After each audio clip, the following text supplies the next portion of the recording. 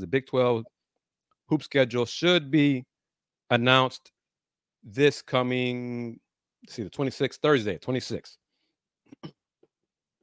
So, Will, I'm, I'm going, I'm going with it like this. Mm-hmm. If you got, so you say, Mhm. Justin, thank you for chiming in. So you say, the best conference, men's basketball conference in college hoops. Wouldn't you, I think, try to promote and plug the teams in your conference as much as possible with a show on on streaming, a show, whatever. If you have it on, if you have this newly created fast channel, the Big 12 fast channel, and you know, fast is free ad supported television. Mm-hmm. I would hope I I choose to believe the conference would do more to promote, as they say, the best conference in men's basketball. What say you? You would think so. I would think so. I mean, as you said, the best conference basketball wise in America. And why would you not want to let the world know? You know, if not you, who? If Right. You're not going to do it. Who's going to do it? So I absolutely think so. So it says that it'll be launched on leading platforms early this fall, soon, as well as major platforms such as YouTube. Select programming, it'll and this the funny thing is, Will, Mhm. I don't know your tell me when I when I say this, let me know your reaction.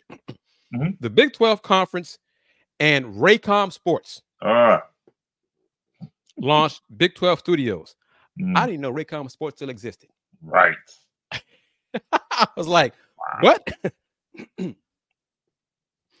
so they are partnering partnering with the Big 12 Fast Channel, 24/7 Big 12 content.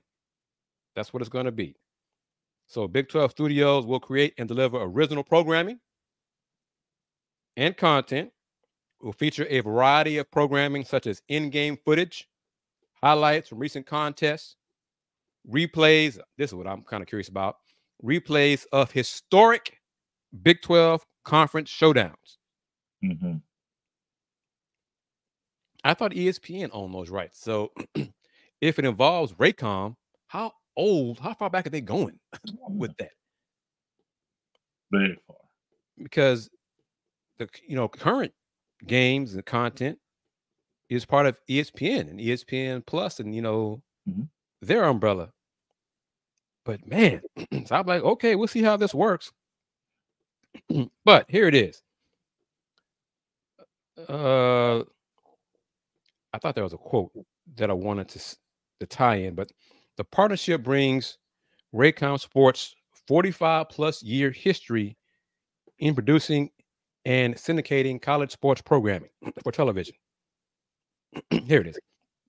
Raycom Sports and the Big 12 conference relationship spans back to the 1980s, Will, hmm when Raycom produced games for the conference during its days as the Big Eight. So I wonder if those replays of games are going back to the 80s. Oh yeah, they just told you. Absolutely, they are. Without question. So how many fans going to watch that? Yep.